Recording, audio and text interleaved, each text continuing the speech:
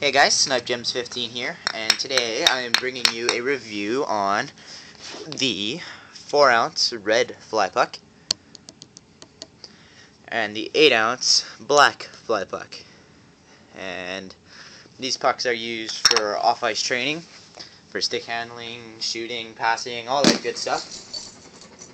And I'll give you a look here. They're hard hard plastic with a can't really right there maybe a little bit but it, there's a seam right here and a sticker in the middle. I don't have the 6 ounce one because I've read other reviews and stuff and all of them say there's no real point to them so I just got the 4 and the 8 ounce. The 8 ounce is for building your shooting and stick handling muscles so like stick handling with that one slowly and then once you once you uh, master that, you can try something harder, which is the four ounce. And this one is for quick movements and twitch muscles and stuff. So here I'll just stick handle with them each, and then after I'll give you my overall thoughts. All right, let's go.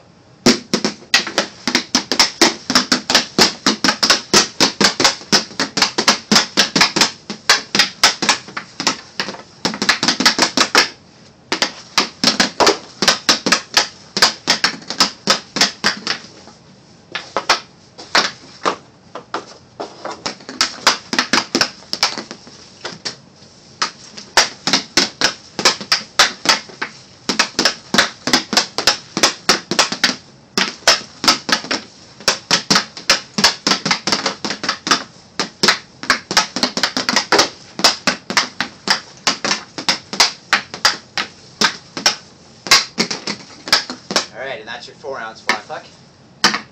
Some quick movements there, and now the 8 ounce.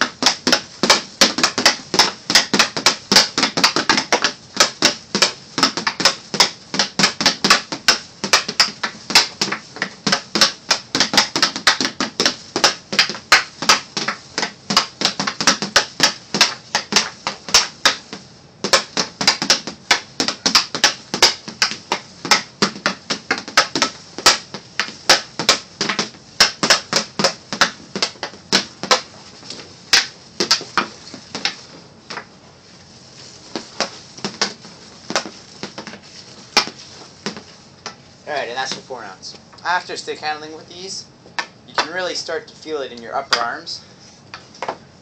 And I really like the product. I mean, they're they're great off-ice pucks. Like using these outdoors, I've never used these outdoors just because I don't want to wreck them, but I can tell just by playing with these on the boards, like on this Extreme Ice shooting pad, um, that it definitely reduces friction. Right there. Can't really see it there because all the pucks are close, but uh, these pucks are great. I love them. They're a lot of fun to stick handle around with. You see less friction. And uh, yeah, so I will post a link to these into the description. Purchase them off Hockey Shot. And don't forget to comment, rate, and subscribe. See you guys later.